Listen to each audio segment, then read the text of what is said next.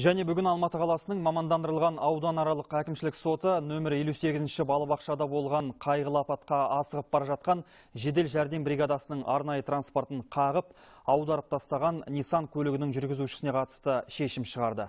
Естеріңізге сала кетейік, сол күні Toyota Land Cruiser көлігі балабақшаның қоршауын бұзып, аула ішіндегі үйшікті қиратқан еді. Сол сәтте алаңда ойнап жүрген 5 жасар қыз көз жұмып, 9 бүлдіршін ауруханаға жеткізілді. Апатқа себепкер әйелдің ісі әлі сотқа өтпеген сюжетке назар салайық.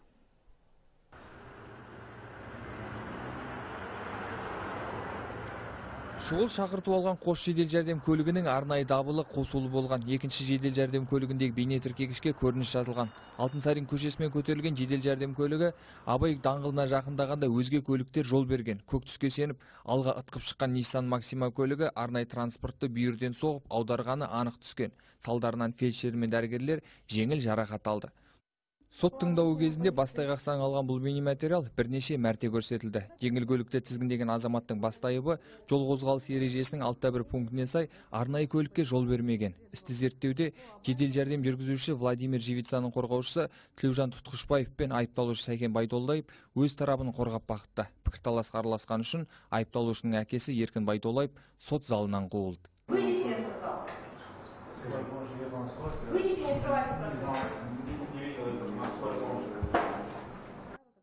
Судья Ақмарал Ахметжанқызы айыпталушы Сәкен Байдоллаевтың үш жыл ішінде 10 мәрте жол ережесін бұзғанын санамалап берді.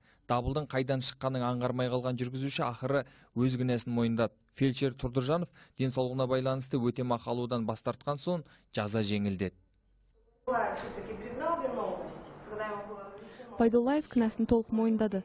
Қарсы тараптың келісімімен әкімшілік құқық бұзушылық кодексінің 610 бабы бірінші тармағы бойынша 10 айлық есептік көрсеткіш мөлшерінде айыппұл салынды. Егер Сәкен Байдуллаев бір жыл ішінде жол көлік оқиғасын қайталаса, жүргізуші куәлігінен айырылады. Ал Алматы қалалық ішкі істер департаменті осындай жол көлік оқиғасының туындауына түрткі болған. Жоғарғы жылдамдықпен балабақшаның дуалын қиратып, ауладағы балаларды басып кеткен әйелге қатысты әлі тергеу амалдары жүргізіліп жатқанын жеткізді. Дәурен Даребек, Ержан Жаңбырбай, ұлттық арна.